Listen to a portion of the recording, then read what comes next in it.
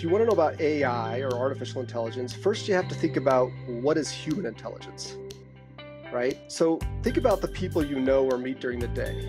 Do, do they all have the same intelligence? When you think about it, you're trying to define artificial intelligence. It means we're really trying to compare it to something. And for us, that, that means human intelligence. This is the Gies Download, a podcast from the University of Illinois' Gies College of Business. I'm your host, Tim Sinclair, and today we're talking with Robert Brunner. Robert is the Chief Disruption Officer at Gies and an expert and visionary when it comes to the world of emerging technologies and information. You probably have one of my favorite job titles of anybody we've we've interviewed on the podcast so far. What in your definition or maybe the job description you have is a chief disruption officer? I'm glad you like the title. Um, you can thank Jeff, you know, uh, Dean Brown for that. He he came up with the title. Um, so you know what what is a chief disruption officer? I mean that that's a great question. Um, and and part of the interest in why why people think it sounds interesting is because it's not a a common uh, position, and and so it's not really well defined, right? You can't look around and say, hey, there's uh, ten chief disruption officers. Let's just sort of figure out what they're doing, and that that's what we do so so I used to be um, uh, a full professor over in the astronomy department, and I moved my faculty position over to an accountancy department here at Gies. Uh, I, I want to say in 2017, um, and the reason the reason that happened is I was I was discussing with uh, all around campus. I was I was like leading our, our, our data analytic efforts around campus and trying to help build some coherent whole, you know coherent uh, whole across all of the different units, and met a lot of people. Jeff was one of them uh, and some of the other people, in particularly in accountancy, and they needed help with data analytics. And so uh, I, I, moved over here, was helping them create new curricula and thinking, you know, in terms of strategy, what should the college be doing in this space? And among some of these conversations, um, I sort of suggested, you know, data analytics is just the tip of the iceberg when we think about uh, potentially disruptive technologies, and you know that that really Gies had a unique opportunity here, being on a campus like the University of Illinois, where there's so much STEM talent and so many interesting things going on, to sort of think about what's over the horizon more than perhaps other business schools could. And I think in these conversations, uh, Dean Brown sort of, you know, drank the Kool Aid, if you will, and and realized that you know that there is this uh, huge tidal wave of change that's going to be coming um, not just to the Gies College of Business or the University of Illinois, but but basically everywhere, and that you know it really would be in our best interest to be thinking more proactively about what's coming and and try to be less reactive. And he sort of decided, you know, we should make Robert chief disruption officer. Um, and so, you know, that's that's really what I do. I sort of look over the horizon, spot potentially disruptive technologies um, or technologies that when combined, will be disruptive or even more disruptive, and try to help prepare the entire college, um, you know, whether that's students, faculty and staff, or even alumni uh, and our partners for what's to come. That was going to be my next question. You addressed it a little bit there, but are you helping Gies be disruptive in how they do education? Are you helping students be disruptive in how they go into the world and use the tools that the school has equipped them with? Is it a combination of, of both? Where's your focus been? Yes to all the above and more. Okay.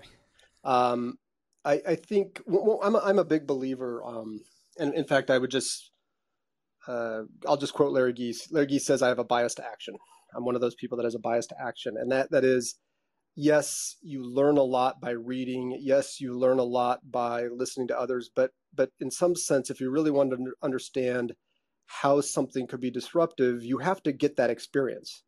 Uh, and so a great example is a couple years ago, we were really interested in blockchain and we're, you know, we know there's lots of opportunities. We've read about a lot of these things. We were talking and working with some people and, and uh, corporate partners and alumni in this space. But it just felt like, you know, we needed to, to take that next step. And so we uh, recruited some students, um, and it was literally two years ago over the summer.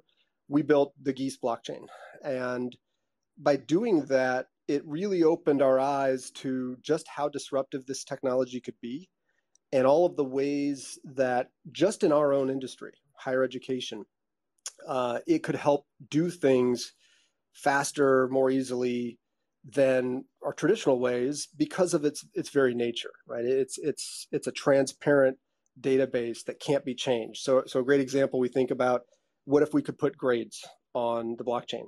We could literally put every grade you get in a class and what you know you, got a you know a 85 on that test, you know, we could put that on there. And we could put what are the skills each class got you and you could then control access to that data depending on what somebody might need it for right so if, if you want to prove to somebody you have the skills to do a job you know you might want to share with them the skills you got in three courses at the university of illinois uh, and you might want to show you know look I, I got a's in these courses or i got on, on that particular part of the course you know i, I had a level work um, this is something that would be enabled by blockchain technology that would be much more difficult with traditional technologies that people historically use in these spaces because they're more siloed and they're they're not designed for the sorts of uh, decentralized open communication that blockchains are. And, and, again, this is just one technology that we wanted to explore. We built this, and it turns out, hey, guess what? We're like the first business school, um, one of the first, if not the first business school to ever build their own blockchain, and to have students be actively involved. And you know that that in of itself was sort of great for Gies. Um, but then we started realizing that we should be teaching this, right? So I created a course uh, on blockchain. I've taught it a couple times, and now we're creating a, a MOOC uh, for the online space as well. So this is this is how we we learn and are able to help the students, but also help the faculty and staff, and then you know alumni and co- companies that want to partner with us understand what's coming and how to how to try to get ahead, front run these opportunities. I do want to go back in time a little bit to you being, and you mentioned this briefly, an astrophysicist, and that was kind of your um, initial plan. How how did that happen, and um, what then? Do you see ways that, that that training has led to your ability to do your job as a disruption officer now?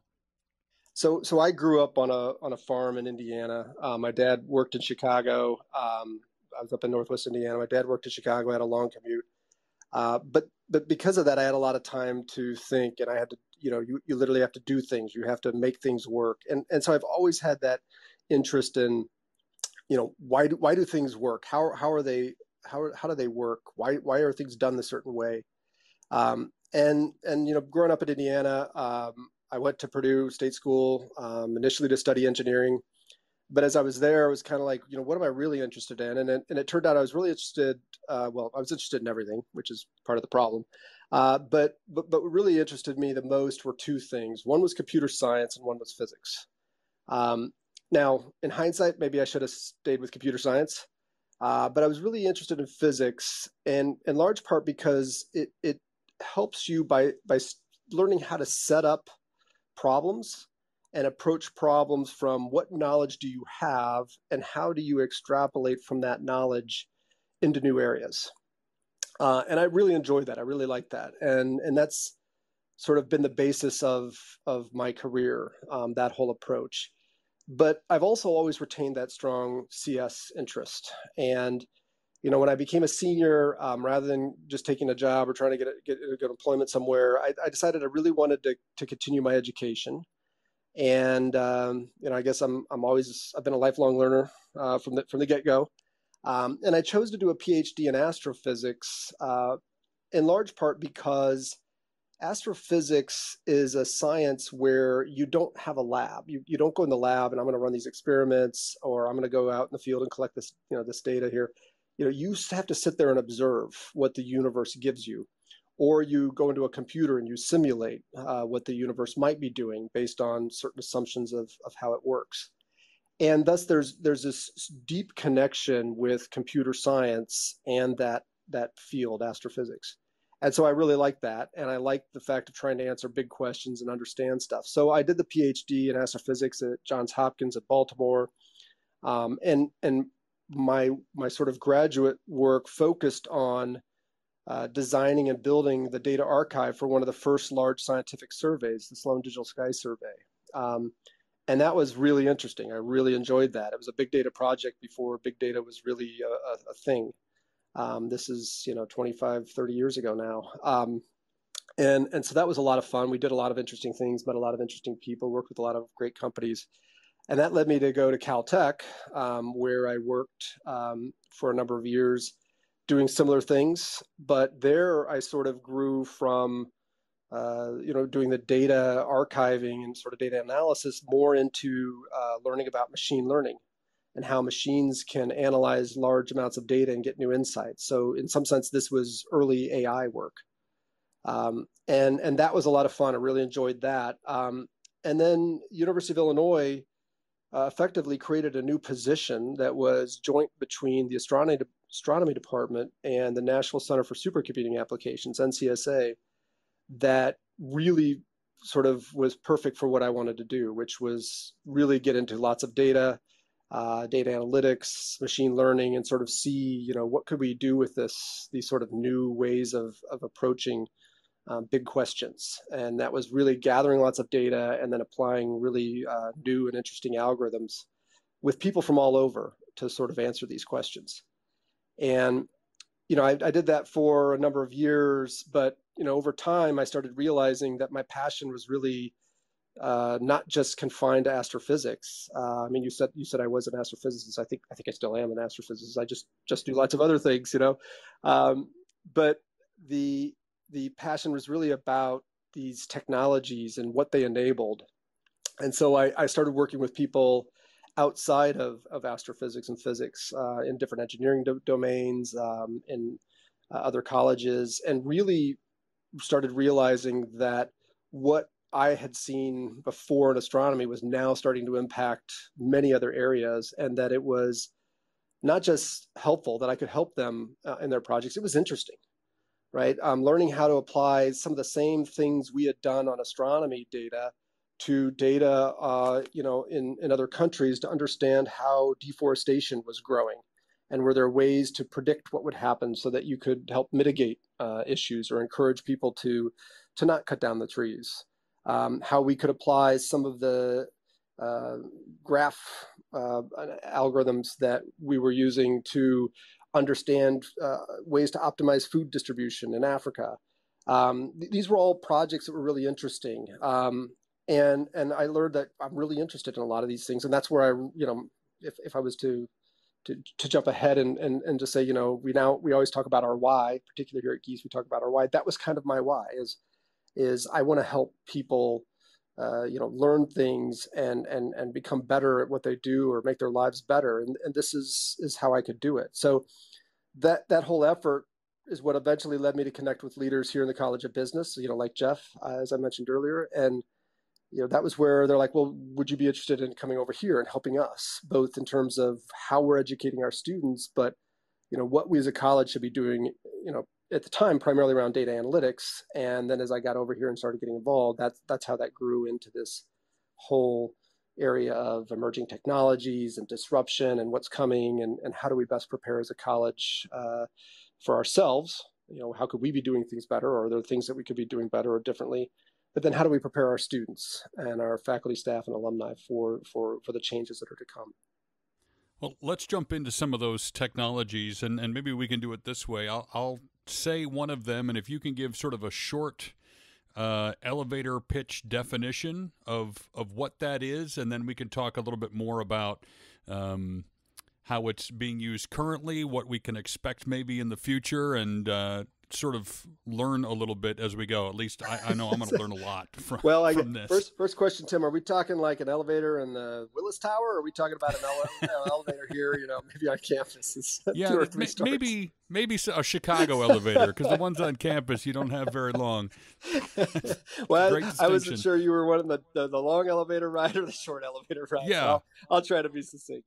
Probably this is pretty a uh, generic term and has a lot of potential definitions, but artificial intelligence in general is defined how? So I, I think this is a fascinating question to try and answer. Uh, but let me flip it on you, and, and I'm going to ask a rhetorical question, and you know, for you and, and anyone listening, and it would be, uh, if you want to know about AI or artificial intelligence, first you have to think about what is human intelligence, right? So think about the people you know or meet during the day do do they all have the same intelligence right? From uh, your interactions. Absolutely what, not. Right, uh, right. So, so from your interactions, you know, what does it even mean for them to be human? And and I ask that, you know, not to to stall or to you know evade anything, but because it, it, when you think about it, you're trying to define artificial intelligence. It means we're really trying to compare it to something, and for us, that that means human intelligence, um, right? You, I could have said the same thing about a dog's intelligence or a dolphin's intelligence or or some other animal. Um, and so when you think about how to answer that question, uh, I think it's always important to sort of frame it in terms of what's the context you're thinking about this. All right. And so that, of course, goes to human intelligence. And, and that leads us to perhaps the most frequent response to, to that particular question. And it's, it's currently known as the Turing test after Alan Turing, but Alan Turing originally called it the imitation game. And the idea basically came down to could an artificial entity, like a computer, fool a human into believing the artificial entity was a human? And if so, then you would consider that entity to be intelligent. Okay. And so that, that kind of demonstrates why did I start thinking about a human? Because you'd be like, well, there's some people I talk to where, you know, it might be pre- pretty easy to imitate them. And other people, it might be really hard. Um, and that could vary depending on how well you know them uh, it could vary depending on you know what their current mental state is. Are they tired or are they well rested? Um, it could depend on their education and and your knowledge of their education area because you might ask more complicated questions um, depending on your knowledge and their knowledge. So I think I think that really is the core of trying to answer that. And at, at, at that level, you start thinking about it. A more general approach would just simply be can a computer do things both how how they complete what they complete and the way they complete it in a way that we feel is similar to what a human would do in that situation and generally when people approach this whether it's that that turing test the imitation game or even this this last question i just sort of posed the answer is usually no right you, you say the computer may do that calculation really fast, but it does it super fast, but it doesn't do it in a way the human would, and it doesn't know what it's doing and, and all of that. Um, but with the growth of AI tools and techniques, uh, particularly generative AI tools like Stable Diffusion or ChatGPT that have come on the scene in the last uh, six months to a year, the answer starts to become I don't know, or even maybe. And I think that's what really captures and captivates people so much is that now we're starting to approach this this issue where that imitation game you know it's it's it's much harder to think about oh yeah it's easy to tell the difference it's it's not and so i think really thinking about the problem in that context or the question in that context of you know how you explain what ai is well simply put it's just a computer doing things and you you you have a hard time knowing the computer did it. Um, but but I think it's deeper when we really think about it. And honestly, part of that's probably Hollywood. There's been so many movies, you know, and generally the killer AI comes out and tries to wipe out humanity, and we, we think about that. Um, I mean, this is this has gone on since 2001: A Space Odyssey, which came out in I think 1968, and the supercomputer HAL, who was by the way born in Urbana, Illinois, uh, you know, uh, tried to kill the crew um, and so, you know, we, we a lot you, you, tend to have that in the back of your head. Um, and so there actually is a lot of concern nowadays from people and, and different, you know, experts sounding off on the alarms and the dangers. Um, you know, and I think it is important to ask the questions. Um, I'm much more optimistic than I think most uh, of those uh, folks are, but um, it is. It's it's an incredible technology that has the potential to do amazing things that transform our lives in ways we are barely starting to understand. Well, our elevator ride made it to the sky deck, but the, the journey was wonderful and the, and the view is beautiful. It was worth it. The view was great. That's how you say it. the view was great. Absolutely. I don't know what you said, but the view was great. the um, I think the other ones we'll probably talk about are are variations of artificial intelligence. They probably fall under that category. And you mentioned one of them a minute ago um, that I understand the very very basics like i i know what it's supposed to do but but chat gpt is has been everywhere. It seems like in the last number of months. Um, what what is that, and and do you see it as something that's just a hey, this is pretty cool, but it's not going to stick around, or this is really the beginning of something? Well, I hope I hope we're not confined to an elevator here. So ChatGPT is something that uh, the tool itself may not be around, but it's because it's been replaced by something similar and better. Um, ChatGPT, you could really think of it as two things.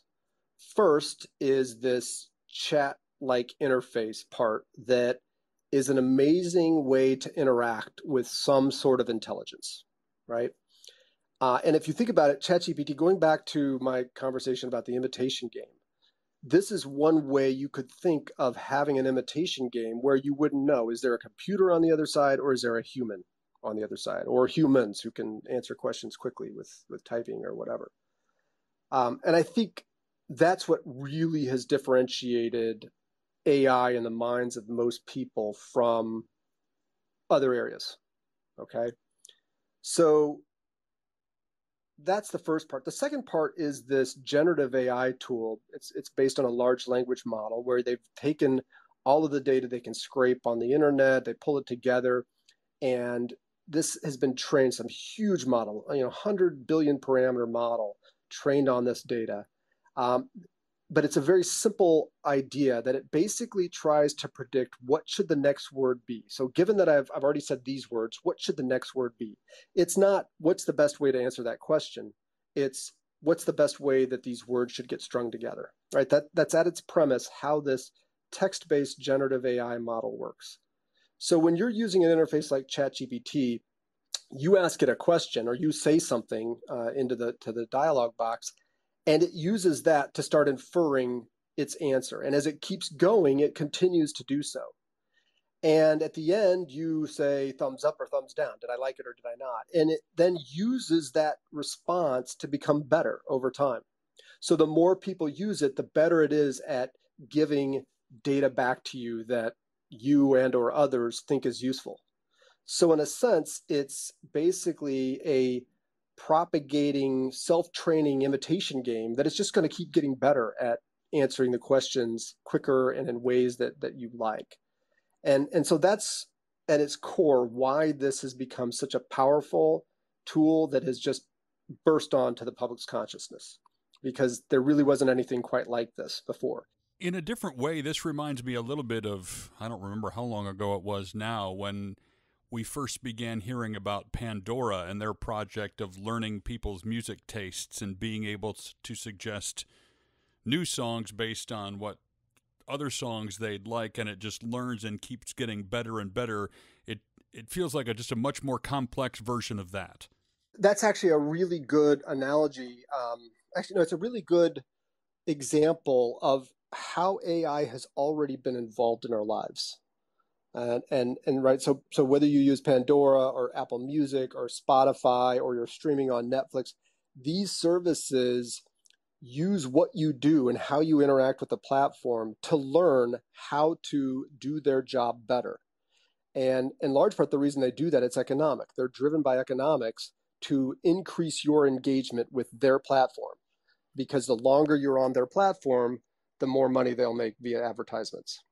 So this is something which absolutely the, these sorts of, of AI approaches are really taking a large amount of data, the interaction of the tool with the user, and learning how to best meet the needs of the user and, increase engagement. Um, it's just that this new stuff like ChatGPT is a little more general. The the last one I want to talk about is, and I think I'm using this word correctly. Uh, is it deep fakes? Is that the correct terminology? And this yes, feels, yes, yes. while all of it can be a little weird and a little creepy, maybe, or, or scary to some, this one feels, at least on the surface, dangerous. But define what it is first and then give me your thoughts. I'm I'm sort of trying to process how to answer your question in light of some of the comments you said, particularly there at the end. Um, the dangers, the dangers aspect, there there is dangers here. So when we hear about deepfakes, what are we talking about? Deep is simply referring to the type of machine learning model that's used. Um, it's deep learning or deep neural networks. Uh, and they've been around for roughly a decade, maybe a little more. Um, they they basically are at the heart of all of the most powerful AI models and tools that are out there. Um, and so deep, the fake part simply means they're you're faking some data. Um, and there's been a lot of work in these AI algorithms, um, not so much to generate fake data for fake data's purpose, but because one way to make models better is to say, well, here's reality. Let me generate a fake version of reality and compare them. And the better I get at making fake realities, the better I must understand true reality. All right, so that's a simple sort of understanding of how this this process works. Um, well, it turns out then as, as you start generating better and better, you know, fake realities, which could be people's faces or people's voices, you can get much better at finding people's faces in an image, or which which obviously of interest for you know people using cameras, or for generating um, you know voices, uh, synthetic voices. So that's a very powerful technology. Initially, it was used for some malicious activities, you know, putting uh, you know famous people's faces in compromising situations. Uh, there's now talk of politicians using deepfakes to, uh, you know, make it look like their adversary is saying or doing something they shouldn't. Um, and so it is has it does have a huge potential for dangerous uh, outcomes or misuse. Um, but I think the biggest thing here is the educational aspect. It's dangerous when people don't know it's a possibility, or it's dangerous when people are caught unaware that something could be done like this. So I think our first step is to educate people. This is a possibility that you need to be aware that you don't just believe everything that that is that is out there on the internet or that comes into your e- email inbox or your Facebook feed or, or whatever but that you're aware of these things, that you need to confirm uh, where things are coming from. I think the second thing is we need to develop better ways to ensure the integrity and transparency of uh, and, and, accuracy of some of these media. And, and that probably would involve a blockchain uh, as a good way of, of solving that problem. But then I also would say this technology also has amazing potential to make things better in many ways. And, and I'll give you a simple example. I, I talked earlier about this course I'm creating. Uh, it's on emerging technology and disruption, and it's all about teaching people how to, you know, in some sense, do my job or, or, or sort of learn how I do my job and, and sort of be able to do that themselves in their lives and their, and their work. And one of the conditions for me doing this, creating this for our online degrees, was saying, okay, well, we got to start using some emerging technologies to make our lives better and to see how uh, higher education may be changing in the future, right? It's back to this uh, bias to action idea. And so we are using AI everywhere we can. And some of that is, um, hey, look, there's a lot of content I've taught uh, this stuff before. Help me synthesize this down from two lectures to one or three lectures to two. Uh, and AI can help with that. Uh, some of it is helping me to create transcripts for a video that I'm going to go in the studio and record uh, or create a draft on this and take all of these uh, uh, different viewpoints and tor- synthesize it. And then I'm going to go in and, and sort of uh, put it in my voice and make sure everything's right and that it still flows with everything else. Uh, so, so those are, are some specific examples, but it goes beyond that. Can we use AI to improve the video creation and editing process? There's, there's tools. Photoshop has come out with some tools recently to do that. But going even farther than that, uh, if if I'm in the studio and I'm recording and suddenly an elevator dings or somebody walks by the studio door and makes noise, you know, do we have to reshoot? Well, not with the deepfake. They can f- take the the synthesized version of my voice, which we've made, and have me say that line again with no interruptions. Uh, and we've even gone further than that and used AI to generate video of me so that we can have a script and then have the video generated of me saying those words. And that sort of starts to open people's eyes of, well, why should we be interested in this course on emerging technology and disruption? Well, here you go, right? This whole idea of deep faking and thinking about this is here, this sort of technology is only going to get better. How do we get ahead of this so that we're able to push it into directions that's going to lead to greater benefit for society and and and, uh, and businesses than perhaps otherwise would happen. Last big question, uh, and it just involves sort of looking forward. I know it's hard to predict these things when they are already groundbreaking and sort of on the edge of just now emerging. But what excites you most um, about whether it's AI or other technologies that you see on the horizon, both in general for society and then specifically for Gies College of Business? Oh, Tim, I don't know if I can answer that question just one. There are so many amazing things out there. Um, we've spent a Hit lot. the highlights. It's fun. Yeah, we, we've spent a lot of time talking about AI, and I've mentioned blockchain, and I talked a little bit about augmented reality, and and you know, Apple's now introducing um, their new device to make augmented reality and development of applications using it um, easier. And so I think we're going to see a lot of growth there. I think we'll see a lot of growth in the next few years on, on new ways of using blockchain that disrupt industries from insurance to real estate to to personal identification and, and all kinds of assets being tracked. Um, those, those are amazing. But I think there's other things that are, you know, when we think about the horizon and we think about a year, several years or more, it, it's there's so many that are out there um, that it's just amazing. And you know, I think a lot of them could could have major impacts. I mean, there's things that are probably not on most people's radars, like personalized medicine or continued growth of, of EVs, but but having widespread and full autonomy. Um, and what does that do for cities when you know cars are self-driving and, and people don't need to park their cars? Um, you start thinking about these things; it's amazing. Um, I guess if there's one thing that I'm personally think is really interesting and, and sort of just in awe of is the idea of quantum computers. Um, computers are so prevalent in our in our lives, and you think about the potential for a new type of computer that would be exponentially more powerful than current computers.